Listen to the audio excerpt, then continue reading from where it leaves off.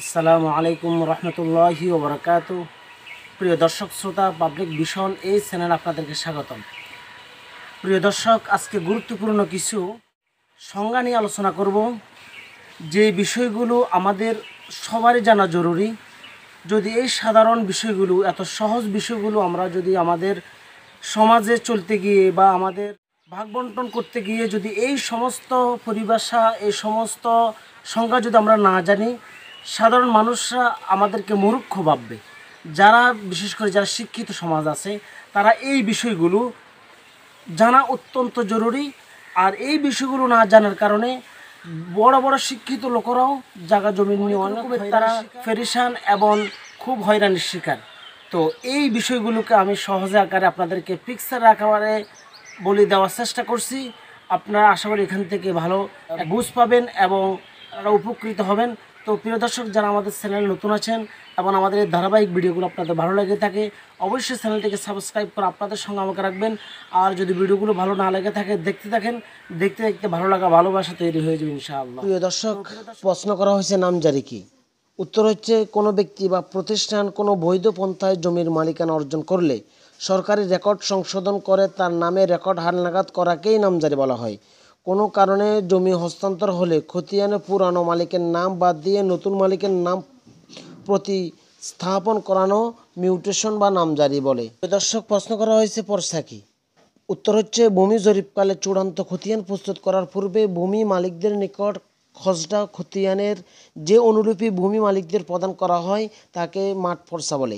এই মাঠ ফর্সা রাজস্ব অফিসার কর্তৃক সত্যায়ন হওয়ার পর যদি কারও কোনো আপত্তি থাকে, তাহলে তার শোনানোর পর খতিয়ান চূড়ান্তভাবে প্রকাশ করা হয়। আর চূড়ান্ত খতিয়ানে অনুরূপীকে ফর্সা বলা হয়। খতিয়ান কি? এর উত্তর হচ্ছে মৌজাভিত্তিক এক বা একাধিক ভূমি মালিকের ভূ সম্পত্তির বিবরণ সহ যে ভূমি রেকর্ড জরিপকালে প্রস্তুত করা হয় তাকে খতিয়ান বলে। এতে ভূমি মালিকদের নাম, প্রজার নাম, জমির দাগ নম্বর, পরিমাণ, প্রকৃতি, খাজনার হার ইত্যাদি লিপিবদ্ধ থাকে। এস এ খতিয়ান কি? এর উত্তর হচ্ছে এস এর পূর্ণরূপ হচ্ছে স্টেট অ্যাকোজিশন সার্ভে। উনিশশো সালে জমিদারি অধিগ্রহণ ও প্রজাস্বত্ব আইন পাস হওয়ার পর সরকার উনিশশো ছাপ্পান্ন সালে সমগ্র পূর্ববঙ্গ প্রদেশের জমিদারি অধিগ্রহণ সিদ্ধান্ত গ্রহণ করে। দুই চার উনিশশো তারিখে আইনের তিন ধারার আওতাধীন বিজ্ঞপ্তির মূলে সরকার কর্তৃক সকল জমিদারি দখল নেয়ার পর উক্ত অ্যাক্টের সত্র দ্বারা মোতাবেক যে খতিয়ান প্রস্তুত করা হয় তা এস এ খতিয়ান বলে পরিচিত।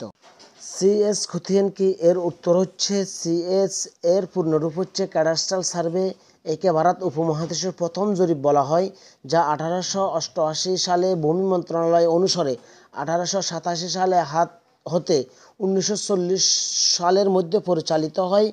এই জরিপ আঠারোশো পঁচাশি সালের বঙ্গীয় প্রজাস্বত্ব আইনের দশম পরিচ্ছেদ অনুসারে সিলেট ও পরবর্তী জেলা ব্যতীত সারা দেশে পরিচালিত হয়। উক্ত জরিপের মাধ্যমে জমির বিস্তারিত মৌজা নকশা, ম্যাপ প্রস্তুত করা হয় এবং প্রত্যেক মালিকের জন্য দাগ নম্বর উল্লেখপূর্বক ভূমি বাস্তব অবস্থা, আয়তন, শ্রেণি, পরিমাণ, খাজনা, পরিমাণ ইত্যাদি উল্লেখপূর্বক খতিয়ান প্রস্তুত করা হয়। প্রিয় দর্শক আর এস খতিয়ান কি? এর উত্তর হচ্ছে আর এস এর পূর্ণরূপ হচ্ছে রিভিশনাল সার্ভে সিএস জরিপ সম্পন্ন হওয়ার সুদীর্ঘ পঞ্চাশ বছর পর এই জরিপ পরিচালিত হয়। জমির অবস্থা, প্রকৃতি, মালিক, দখলদার ইত্যাদি হাল হালনাগাদ করার লক্ষ্যে এই জরিপ সম্পন্ন করা হয়। এসে জরিপের সময় সরজমিনে তদন্ত বা জরিপ কার্যক্রম পরিচালনা করা হয়নি। জমিদারদের থেকে প্রাপ্ত তথ্যের ভিত্তিতে এসে জরিপ বা খতিয়ান প্রস্তুত করা হয়েছিল, যার কারণে অনেক ত্রুটি বিচ্যুতি থেকে যায়। এই ত্রুটি বিচ্যুতি দূর করার জন্য সরকার দেশের বিভিন্ন অঞ্চলে সরজমিনে ভূমি জরিপ করার সিদ্ধান্ত নেওয়া হয়। আর এস বা রিভিশনাল সার্ভে জরিপ হিসাবে পরিচিত। এই জরিপে প্রস্তুতকৃত নকশা বা ম্যাপ এবং খতিয়ান নির্মূল হিসাবে গ্রহণীয়। প্রিয় দর্শক, বিএস খতিয়ান কি? এই বিএস এর পূর্ণ রূপ হলো বাংলাদেশ সার্ভে উনিশশো আটানব্বই সাল থেকে নিরানব্বই সাল হতে বর্তমান চলমান জরিপকে বিএস খতিয়ান বা সিটি জরিপ বলে, যা এখনও চলমান, কোথাও কোথাও চলমান, কোথাও কোথাও শেষ এবং কোথাও চালু চলবে এই অবস্থায় আছে। প্রিয় দর্শক পিএস খতিয়ান কি? এর উত্তর হচ্ছে পিএস পূর্ণরূপ হলো পাকিস্তান সার্ভে এস এ জরিপকেই পিএস জরিপ বলে। উনিশশো ছাপ্পান্ন হতে উনিশশো বাষট্টি সাল পর্যন্ত এই জরিপ পরিচালিত হয়ে আসছে। প্রিয় দর্শক, ভূমি জরিপের পরিভাষায় পরি- তফসিল তফসিল কাকে বলে? সেই উত্তর হচ্ছে, জমির পরিচয় বহন করে এমন বিস্তারিত বিবরণকে তফসিল বলে। তফসিলে মৌজার নাম, নম্বর, খতিয়ান নম্বর, জমির চুহদ্দি, জমির পরিমাণ সহ ইত্যাদি সব বিষয়ে সন্নিবেশে থাকে। তো প্রিয় দর্শক মৌজা এর উত্তর হচ্ছে, যখন সিএস জরিপ করা হয়, তখন থানাভিত্তিক এক বা একাধিক গ্রাম, ইউনিয়ন পাড়া মহল্লা আলাদা করে বিভিন্ন এককে ভাগ করে ক্রমিক নম্বর দিয়ে চৌহদ্দি করা হয়।